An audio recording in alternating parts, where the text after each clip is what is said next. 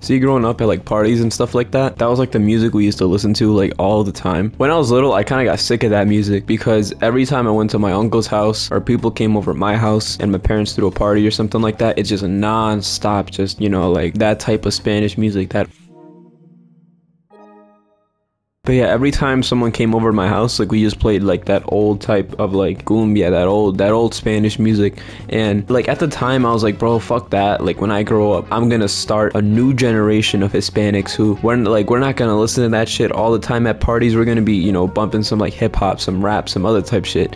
But now that I'm like older, I'm not gonna lie, I am gonna continue the tradition of my parents because that music slaps. I'm not even gonna lie, that music slaps. I, I don't know what happened. It just like like middle of last year, I was like, fuck it, you know, I haven't listened to this music in so long. Let me let me see how it is now. I I'm so glad I made that decision because I like I listen to that shit so much. I like to branch out with my music because I still like hip hop, rap, stuff like that. That's still like my number one genre. That's still the one that I listen to the most most, but I like to branch out to other genres as well. There's some genres I don't touch at all though. Like I don't listen to any metal, any rock, anything like that. No, I don't have anything against it. It's just not for me. Same thing with something like country. I know a lot of people dunk on country and say it's like trash, and I can low key I can see the appeal of country music, but at the same time it is it's not for me, you know. I like I could say right now country music is mainly just them talking about getting a wife and they're probably like 19. Them about like drinking beer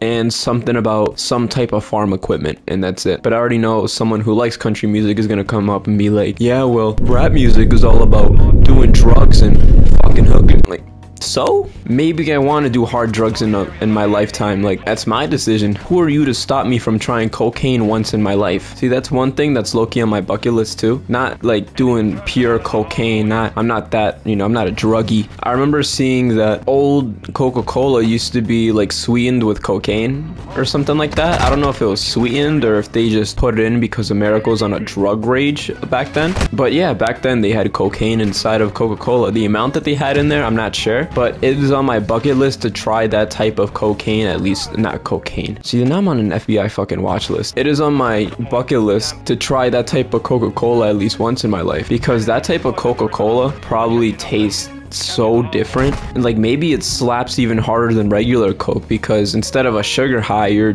getting like high off cocaine. I don't, this is all just commentary. I do not condone the use of cocaine. And any kids watching this, I do not like condone the use of cocaine or meth or black tar heroin or acid or penicillin. I don't really know what I want to do on my bucket list yet, to be honest. I know that's one thing doing the Coca-Cola cocaine thing is on there. Going to Japan is on there. But other than that, I don't really know. What do people usually have on their bucket list? Like, I guess travel is always on there, but I already have that on there. I feel like the Coca-Cola thing is pretty unique. I don't think a lot of normal people want to ingest Coke. If anything, that's probably going to be my, like, cause of death. See, going back to, like, the music thing, I guess something I can put on my bucket list is I want to go on, like, a, listen, I know he's canceled or some shit. I don't care. I want to go to a Kanye concert because that experience must be so different to go to a Kanye concert. The only thing is, is that I feel like going to a Kanye concert is kind of risky because knowing Kanye's track record, I wouldn't be surprised if he just cancels the concert like 20 minutes before he's supposed to show up. And if that happens, I don't know, Kanye, you're gonna have to your your favoritism in my books is gonna go down a little bit. I know that's saying something, especially after you said you love the Nazis, but if you cancel on me after I spent a good 500 to go to a fucking concert. One of the concerts I really wanted to go to was a Daft Punk concert, like the DJs, just because their music is really good. But the thing is, that was technically on my bucket list, but now I can't really do it because they broke up, they disbanded, they're not gonna do anything anymore. And back when they released like an album, that was back in like 2013, so I was like super young, so I wouldn't even have been able to go. I guess I can count that too. I'm gonna be honest, I don't know what half of these attachments do. I know like it shows you the pros and the cons, but a lot lot of these do the same exact pros and cons, and it doesn't really tell you which one helps you the most. So which one, like, this has hip fire accuracy right, as a pro. So this one has hip fire accuracy as a pro, walking speed, ADS speed as a con. We go to like this one, same thing. Hip fire accuracy is a pro, walking speed, ADS speed is a con. Like, they're literally the same thing. But like which one helps me the most? Give me some type of stats so I know what one to choose. Like, what the fuck? Literally the same exact thing. They just gave it a different name. It even looks the same. They just gave it two different nuts to hold it into the gun. Same thing with these ones. Literally the same exact thing. This one just looks like a circumcised version of this one. I don't fucking know, man. Team deathmatch.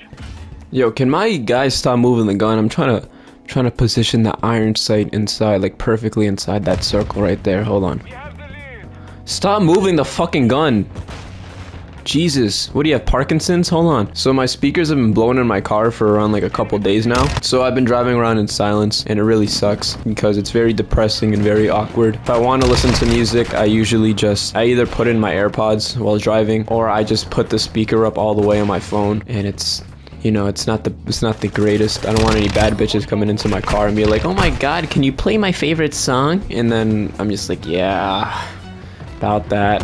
Yeah, I'll give you one of my AirPods if you want to listen to music." But technically, one of the speakers was still working, but I ordered replacements, and the day that the replacements were supposed to come in, I took off my I like took all of my speakers out of my car so I could just do it all in one day. But they came late.